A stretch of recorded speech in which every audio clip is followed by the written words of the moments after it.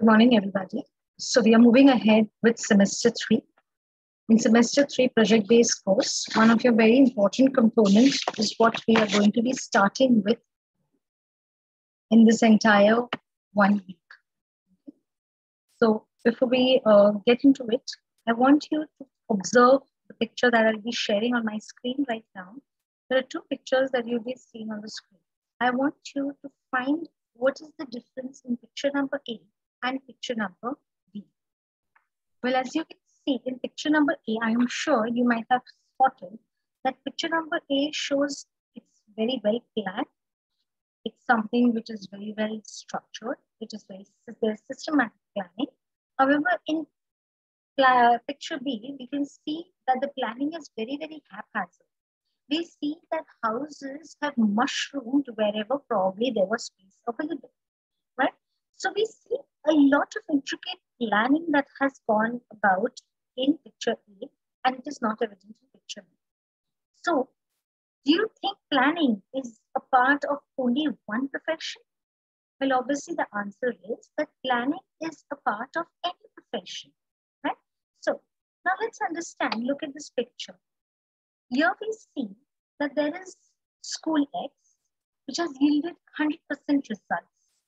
This school is one which has the state-of-art facilities. It has the most uh, efficient of teachers. It has a good infrastructure. It has probably a very good curriculum. Right? And as a result of which, this school has full admission and it has also ensured to get 100% results. However, the same cannot be said about Y school, which again has the best of facilities, the best infrastructure, the best uh, uh, features who are very, very efficient. Uh, but however, this Y school did not get 100% results. Can you plan or can you identify what could be the reason? Both schools have the same facilities. Both schools have the same teachers. Both schools uh, have the same methodology of teaching. But still, somewhere Y school lacked. It could be quite possible that when you have the best of teachers, you have the best of curriculum, you have the best of facilities, you have the best of equipment to teach, but you are not able to get the result that you desire to achieve, it could be the lack of planning on the part of the school, wherein they are not able to effectively utilize all those material and human resources that are available. And thus we say that without planning, no nation can move ahead. And so the same is true even about schools. No school administration will be successful without effective planning. And thus planning is very, very essential. It is the backbone of the school administration. Now, when we are talking about planning, planning is something which is very, very important, right? So here we are going to restrict planning solely towards the teaching learning process that is implemented by the teacher in the classroom. Now, when I say, for instance, that an ex-teacher's teaching methodology is far much more effective in comparison to the Y teacher's teaching methodology. Now, what makes me compare that an X teacher is more effective than a Y teacher?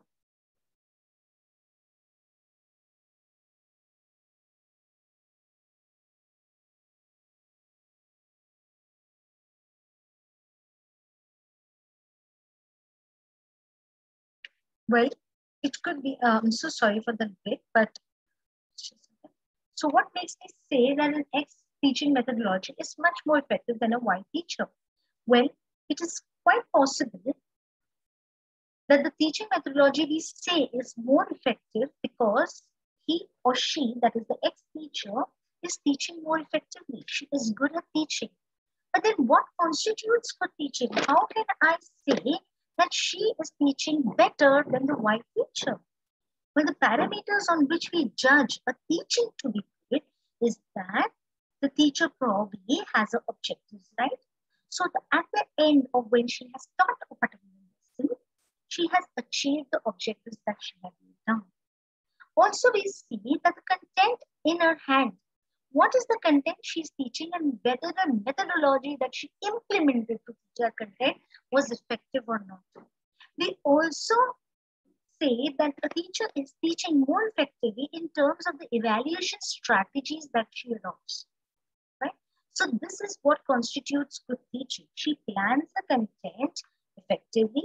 She ensures that the objectives are fulfilled. She uses the right teaching methodology, and she also has an effective evaluation technique in place. And that is what that uh, is what which helps us say that a teacher is much more effective. So this goes without saying that good teaching is not something that happens within the four walls of the classrooms only. Good teaching is a process. It's a long process. It is not something that happens out of the blue. It requires a lot of detailed and intricate planning on the part of the teacher or the various components which we saw.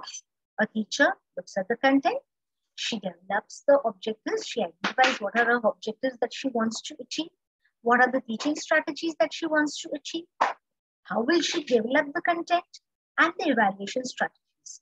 So this all, all these components that she looks towards, she works towards, are nothing, but they are all related in a very, very meaningful way. So now this is when you uh, go to schools and you are hired as a teacher over there, the first and foremost task that will be given to you will be that you will have to plan your subject for one entire year. And that is what we term as a year plan. Okay. And this is what we are going to look into in our today's class. And that is nothing but year planning. So while planning, a teacher must keep the following points in mind. She has to ensure, she has to understand what are the units that she's going to teach, what are the objectives that she will achieve. Also, how many number of teaching periods would she require in a particular year to teach all those uh, units that she has in front of you, uh, in front of her, and how many numbers of testing period would she require for the units that she has taught. And this together is called as your year plan. So the teacher is expected to recognize the content which is there in the textbook of her subject matter. She clubs them into suitable units and this is necessary when the matter is not systematically arranged in the textbook. So some of the textbooks you will find that the matter, that the content is already put into units. But in some of the textbooks, the chapters are very haphazardly arranged. So first she will have to take those chapters, put them into specific units, and then devise the entire plan of the year. Now we will look at that in detail.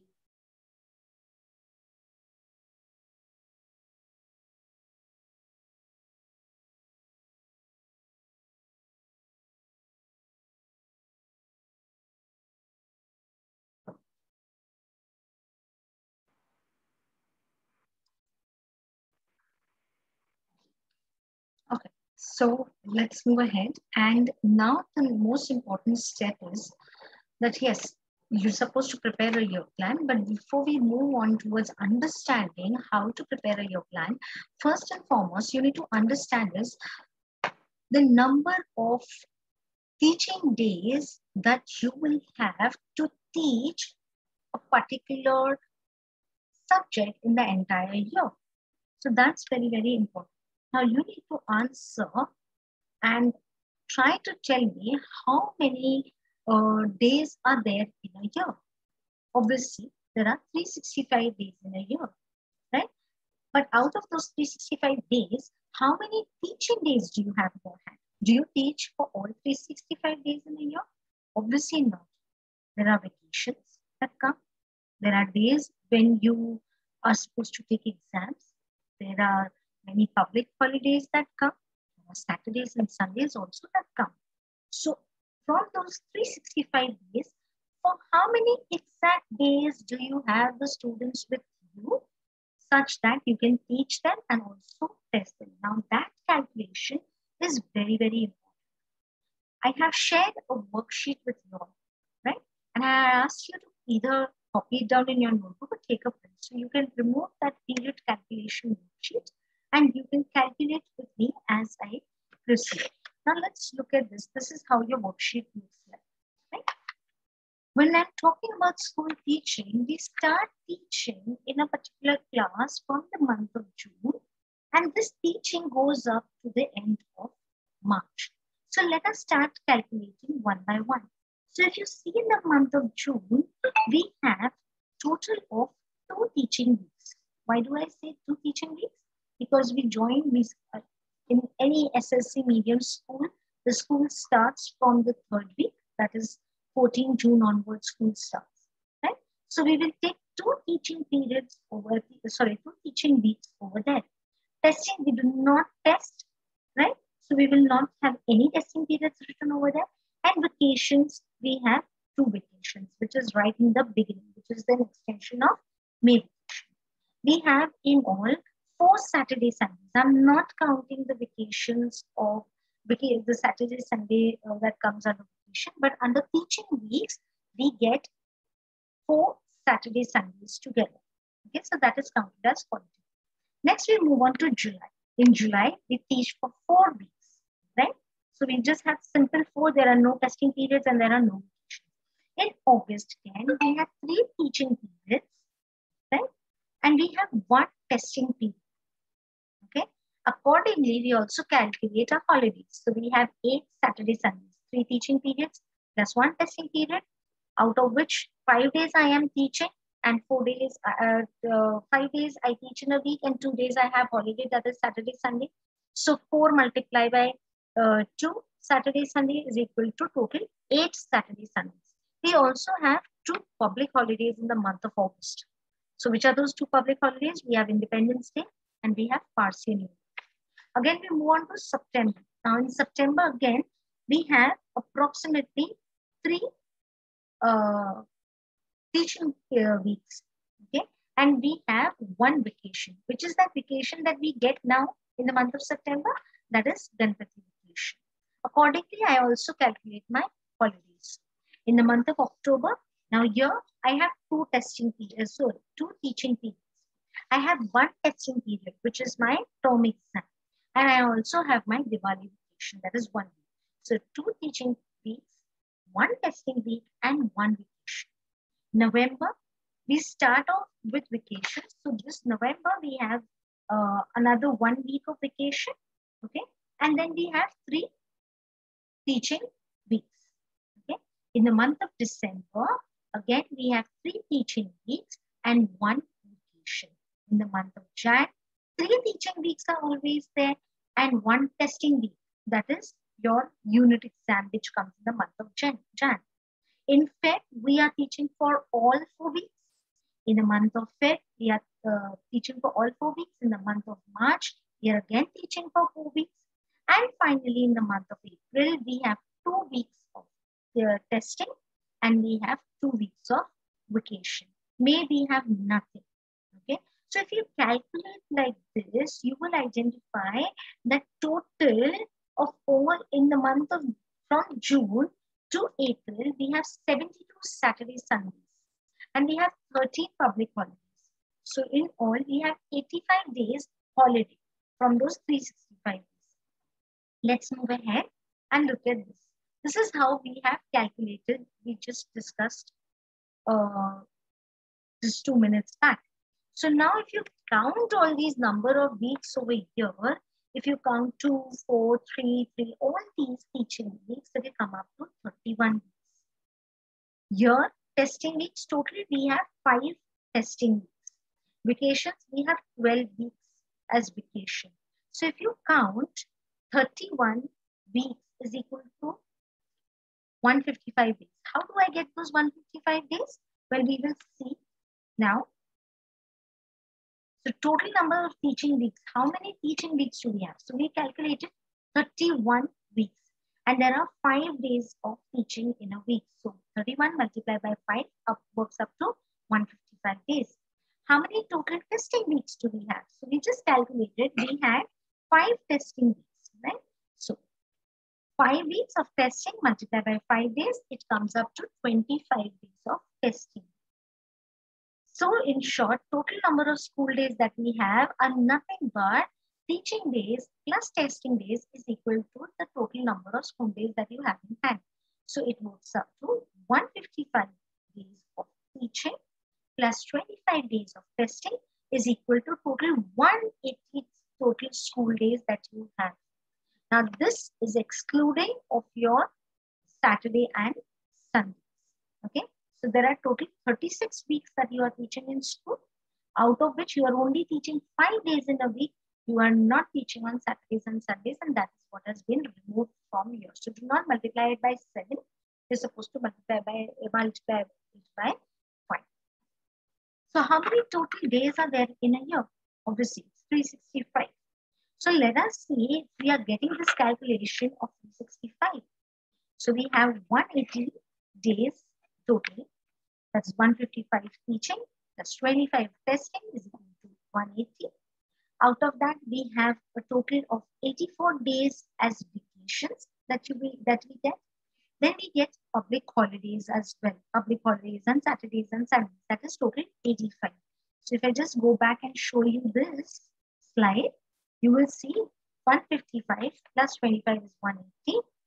180 plus 84 plus 85 works up to around 349. Now still we are missing out on 16 days over here.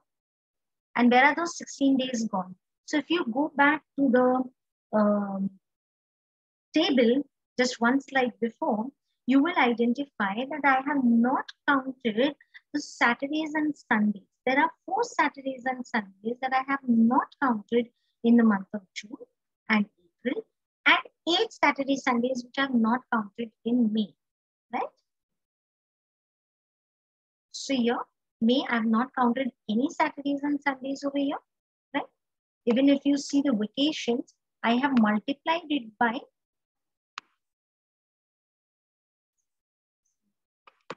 so here I have not calculated the Saturdays and Sundays. Four Saturdays, Sundays I have written over here, four are still missing. And over here in the month of June, again, uh, there are four Saturday Sundays that are missing. So four over here, plus four over here, plus eight over here. So that is how those 16 are not there. So if you see over here, it is 365 days. Now, after having understood as to how many total teaching days and testing days you have, and that you have understood the total number of days you have with the students in the school is 180, we can now start planning our year plan. So the most important, the first step towards preparing your year plan is that the teacher has to first look into the formation of units. Now, what are you going to do and how are you going to find and look into the formation of units? The first and important, most important step, uh, step here is that you as a teacher has to look into the textbook and identify the subject matter that is there. And then club that subject matter into suitable units. Now, this step is only important if this content or the chapters in your textbooks are already not systematically organized. If they are systematically organized, then there is no problem.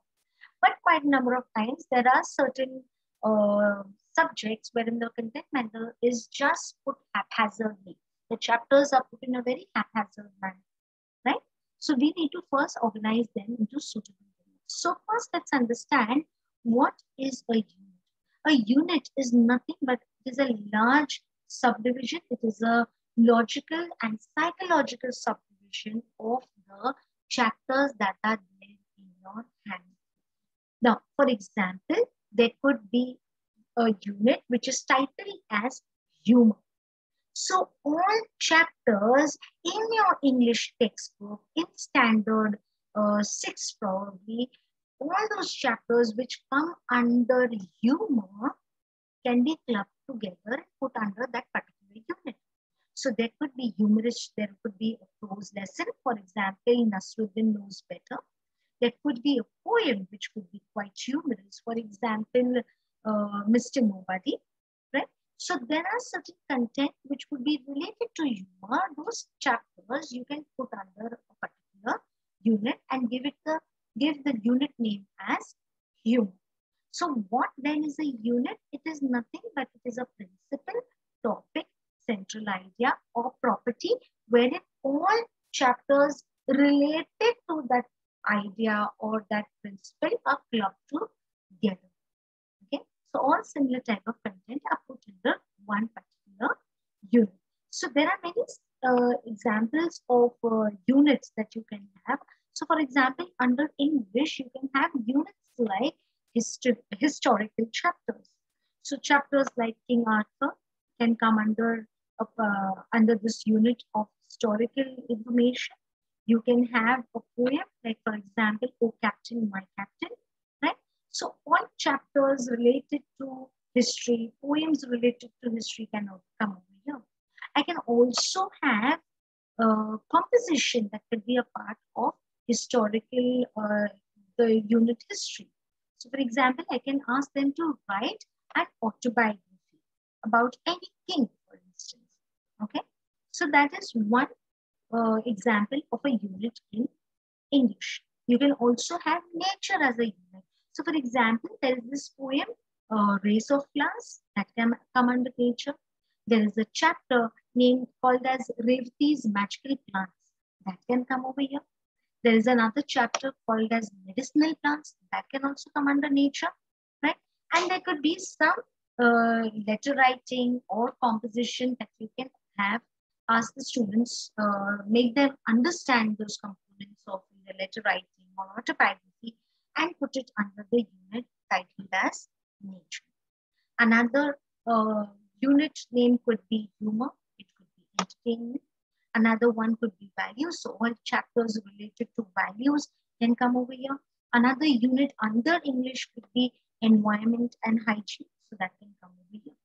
In history, you have different units. For example, you can have Mughals as a unit name. You can have India's uh, freedom struggle. You can have uh, India's struggle to uh, freedom before 1900. Uh, you can have India's freedom struggle between 1900 to 1950.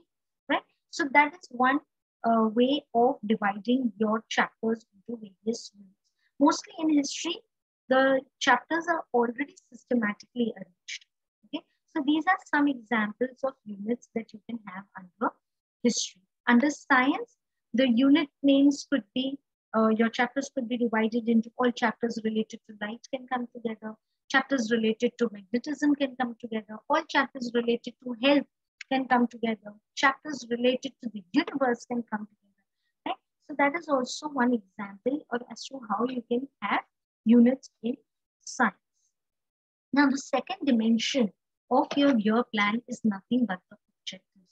You as a teacher has to first identify which are the short-term objectives and which are the long-term objectives. Now, which are the short-term objectives that you achieve in your classroom? And what are short-term objectives? The short-term objectives are all those objectives that you will achieve within the 30 minutes of your class. So this could be remembering, understanding. You could also have uh, apply because you make the child apply the knowledge that they have learned in that 30 minutes class. You also ask them to create something. They make their, uh, they give their own examples. So they uh, write their own essay or by themselves. You just teach them the rules of writing a letter. Now they create something new out of it, right? So that is, these are certain uh, short-term objectives that you can achieve in your 30 minutes class. So you have memory, understanding, you have applied, you have evaluated, and you have create which are certain short-term objectives. Now, apart from these, there are certain long-term objectives. Now, these long-term objectives may be achieved in that 30 minutes class, but it's maybe. However, most number of times we've seen that these objectives take more than a week to develop. For instance, if you want to develop in them appreciation towards the use of figures of speech. You cannot achieve it by just making them understand the meaning of figures of speech or just by teaching them similes. They will not see the importance of the use of figures of speech while expressing oneself.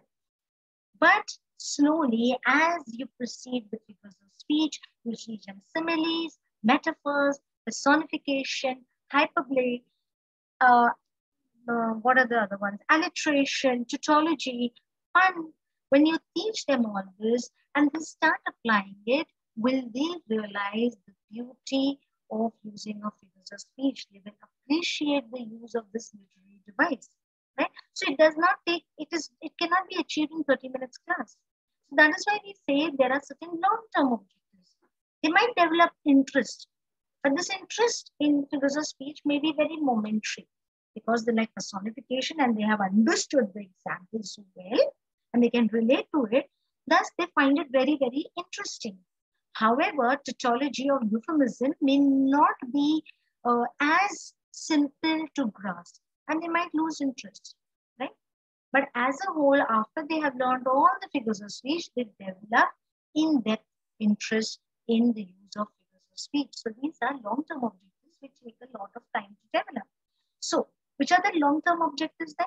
Definitely interest, appreciation, developing of scientific attitude, scientific temper, developing of positive attitude. So these are some long-term objectives which may be achieved in 30 minutes, but generally it takes a large amount of time. You need to really be with the students and talk to them and show them the beauty of uh, the particular concept or chapter that you're teaching, and that is how the long-term objectives are achievable. So in short, you as teachers need to now in the second dimension of your plan, you need to be able to identify which are the objectives which you will be able to achieve when you are teaching a particular unit.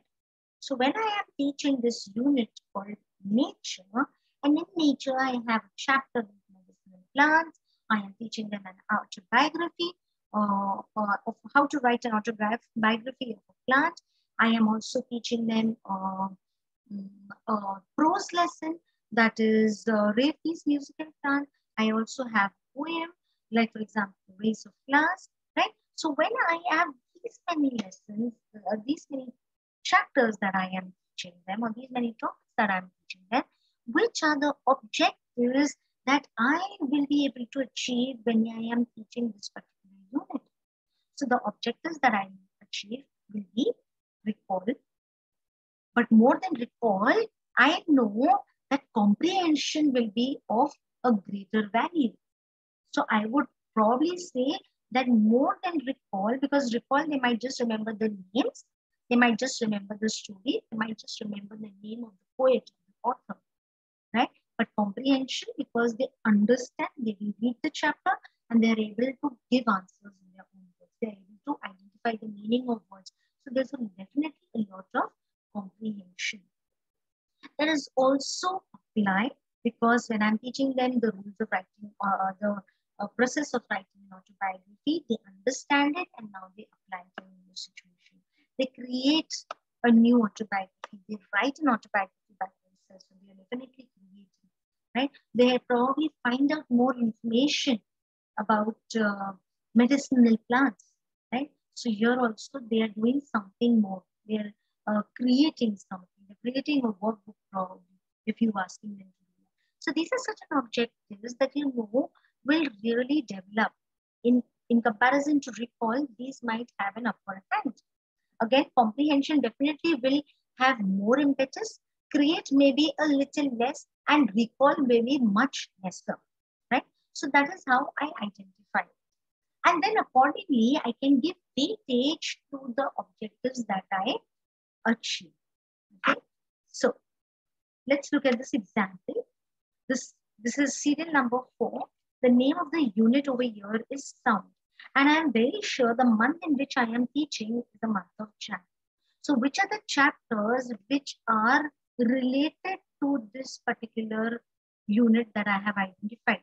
So under sound, I am going to teach them chapter sound and production of sound.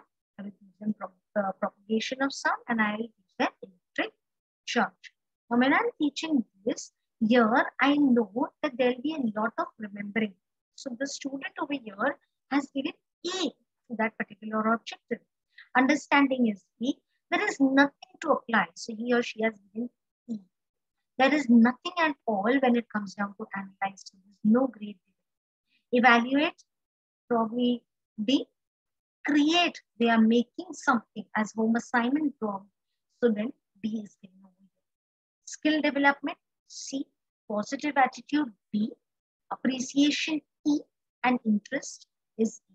So in short, when you are objectifying, uh, when you are trying to identify the objectives, a competent teacher is one who should be able to pinpoint and say which objectives can be achieved to what level.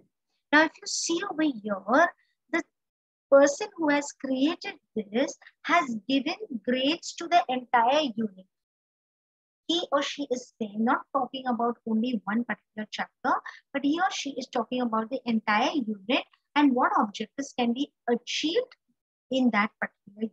If you wish, you can grade for each chapter. So when I'm teaching propagation of sound, I know they'll be remembering. A, I would give there.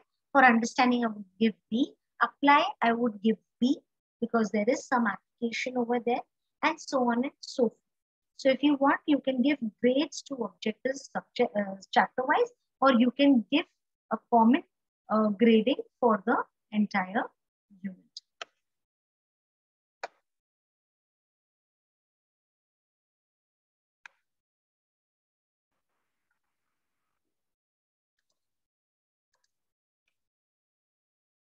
So now the next aspect we move on to is the time available for teaching. Most important part in your planning is that the teacher must consider the time that is available for you to teach.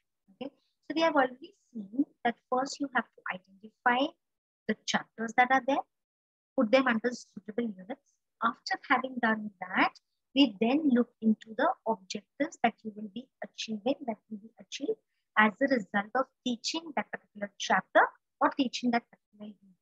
Now, the most important factor after this is that you have to identify the number of teaching periods that are available in your hand. Time factor is very, very important. So what will you do is first you need to identify that if I have six periods that are allotted to me in a particular week to teach English in the standard, then if I have 36 weeks, that is teaching as well as testing, then how many periods will I have in a particular year? So let's calculate. So if I have 35 weeks to teach, there are six periods in a week. So how many total do I have? So 35 multiplied by 6 is 6 0, 30, uh, 30 and 18 and 19, 21. So yeah, 210 teaching periods is what I have with my fifth standard class. Now keeping that in mind, I will spread my teaching and testing periods for all the units that I have prepared. Okay, so when you are preparing, you are looking at your, uh, when you're preparing your units, under each unit, there will be four, five, six chapters. Like that, you might have many units, and under each unit, there might be many chapters. So you have to get equal, uh, equally, you have to distribute your teaching and testing periods. So let's look at this example. For science, so we will continue. So we saw sound as a unit. We saw that there are, there are three chapters under this unit. These are the objectives we achieved. And then how many testing periods can I allot to teaching this particular unit?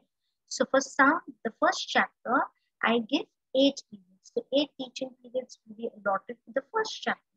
Propagation of sound, again, another eight periods will be allotted, eight teaching periods. An electric charge, seven teaching periods will be allotted. Now that I have understood that these many teaching periods I can give to each one of these chapters, how many testing periods can I give? So that is yet another important test, uh, important aspect. And that is you need to identify the time required for testing of the chapters that you have taught. Okay. So let's look at it. Testing period, I will say for sound, one. For propagation of sound, I need two testing periods. For electric charge, I need two testing periods. So this makes the total five. So total teaching periods, I have 23 for this particular unit. Testing periods, I have five. In all, it works up to total number of periods I require is 28 to teach this particular unit that is of sound in the month of January. Okay. So having understood this, this is how your year plan looks like. The worksheet. I have already shared the worksheet with you. You can either take a photocopy of these worksheets or you can prepare it uh, in your uh, notebook as well. The choice is yours. But it will be nice if you prepare a soft copy of the same and you can show it to your method master. So now how are you going to go about doing this? In your year plan, you will first mention the standard, the year plan you are preparing for. Which standard year plan are you preparing? Fifth, sixth, seventh, that you will write over here. You will write the name of your subject. That is your method one. So for example, Monali, the first method is science. So you will write science over here. If you're preparing in standard five, you will write five. In standard five, how many total teaching periods are allotted for science? And according to that, based on the total number of teaching periods, you can identify the testing period, uh, teach, uh, sorry, uh, sorry, sorry, the total number of periods that are allotted in science Based on that, you can identify how many periods can you give for teaching and how many uh, teaching uh, testing periods can you have. Okay, so if the total number of periods you have is say 210, then you can allot 180 or 190 for teaching and the remaining you can have for testing. Okay, so this is how your, your plan will be. It will not come in one page only. you might have to add more and more leaflets to it. Okay. So when you sit in your methods, you can ask your respective method teachers to help you identify the number of teaching, uh, the number, total number of periods that are there in a year allotted to your method to that particular standard. And then you can start preparing your year plan. Okay. So like that, all methods can do it. I'll show you a sample right now. I'll show you two samples, one of uh, science and one of English. So the, here we have an example of a year plan science standard seven. So total number of teaching periods identified were 198 to teach science in seventh standard class. Here the student has allotted 167 teaching periods and 31 testing periods. So let us see how the student has prepared her year plan. Definitely, two-year plans cannot be the same. The way you look at a year plan will be very different from another person. So it is totally upon the teacher and how she wants to go about it. No one year plan is the perfect plan. Okay. So let's look over here. If you can I see here, we have the serial numbers being allotted. So she has given one, two, three.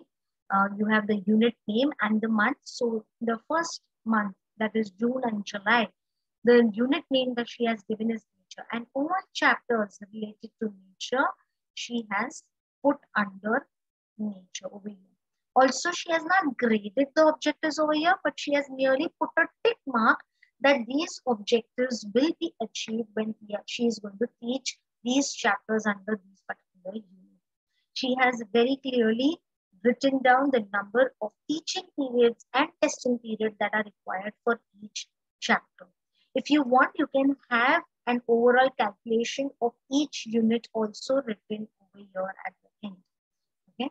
Next, she shows that in the month uh, of July, somewhere between July, she will start and she'll take it up to the complete September. So she is going to teach the unit name heat and all chapters are related to heat she is put over here. In the month of October to December, she is dealing with the theme named living things and all chapters are related to living things she's. In the month of Jan, sound, which we have already seen in detail, and Feb and March, they are dealing with food and all chapters related to food have been put At the end, she has calculated that teaching periods plus testing period is equal to the total number of periods which you saw in the first slide when I showed. So she had total 197, 198 is what she had written. 167 she had teaching periods and testing periods for 31. So this calculation has to be done especially at the end of your, your plan. On the last page, if you see, there is a small table box that has been made for you. So you're supposed to fill it up. Okay. You might feel that in three pages, your work is not done. You might want extra leaflets. So definitely you can either have more photocopies of your, your plan and attach it, or you can either handwrite it. Choice is yours, but please understand it is preferable if you have a soft copy of the same and you can share the soft copy with your mentor or uh, with your guiding teacher so that he or she can connect your plan and give you guidance accordingly. Okay, let's move ahead and look at yet another sample. So here we have a sample year plan for English Standard 6. The total number of teaching periods allotted are 216. 216 periods are allotted for teaching of English in one particular year for Standard 6. So here we are given 145 teaching periods and there are 71 testing periods. Let's move, move ahead and see how it goes about. Okay, so in the month of June, we have June and July, we have all uh, chapters related to nature that have been added over here. So you see, we have a poem that is Children Are Going to School. We have an autobiography of the great bustard related to nature. We have the Silver House, which is all about the moon. It talks about the moon. Here we have a lesson that is uh, Anna Krakatoa, which can be taught. We have adverbs. We also have nouns and kind and prefixes and suffixes. So definitely the examples that she might be dealing with over here when teaching these aspects of grammar might be related to nature and that is how it has come. Also, if you see for each chapter, which objectives can be achieved have been marked over here. She's definitely not graded them, but has just merely put a tick mark against that. So the choice is yours. If you grade them, it is really, really nice. She's also put the number of teaching periods that are required for each uh, lesson that she has written over here. Also the number of testing period and the total number of periods. So do you see this overall calculation that is done?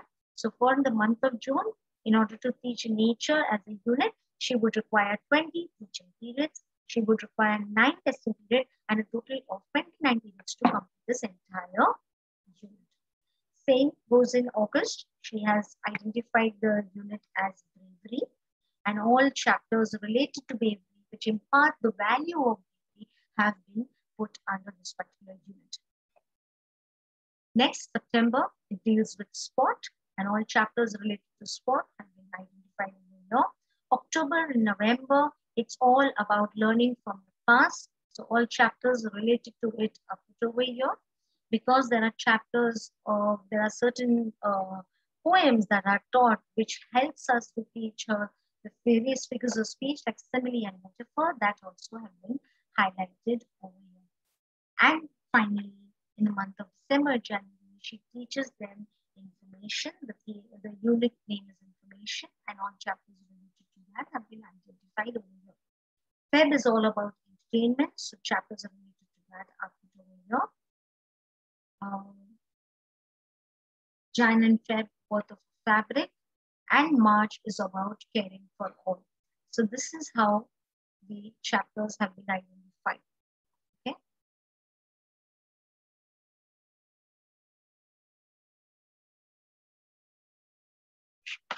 You just see uh, it's just got cut.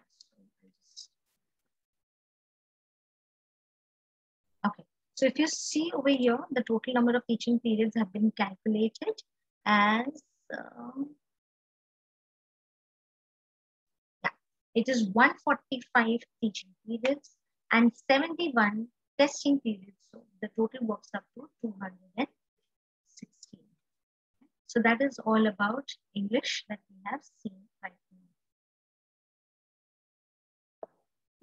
we need to understand that before you start to write down your plan, time and again, we have always told you that you need to know the content under your particular subject of that particular standard. You need to have a thorough knowledge of the content is there within each chapter.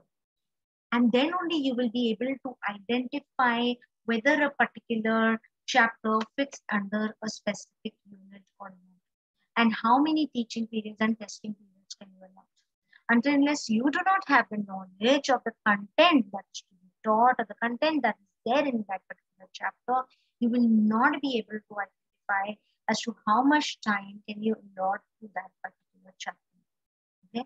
When you're preparing your year plans, please ensure that your year plan can have units anywhere between 5 units to maximum of 12 units. Okay. And each unit can have a maximum of seven chapters and a minimum of only two chapters. Also, when you are preparing your plan, please ensure that there are at least two units that you prepare which have only two chapters under them. Okay, this I am saying for a specific reason.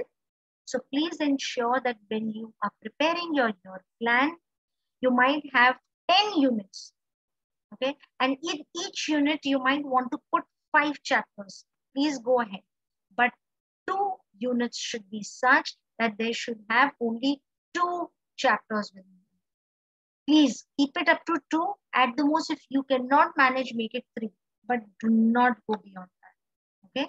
So with that, I think that is the end of your year plan. Let's understand that in semester three, your how to prepare the year plan is very, very important for you because it is eventually going to help you understand as to how to administer the unit test. Okay, it is of utmost importance because this carries mark.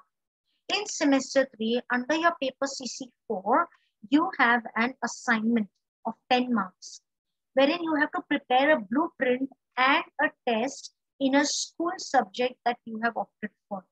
You can refer to your page number 75 of the handbook. And this particular assignment you will prepare in your method two. In semester three, under your project-based course for your internship, after you have delivered your 10 lessons, you are supposed to administer a unit test and analyze the results. Now, this carries 20 marks. And this administration of test will be in your method one. Okay, so please ensure that you prepare your year plan today after having understood this entire session.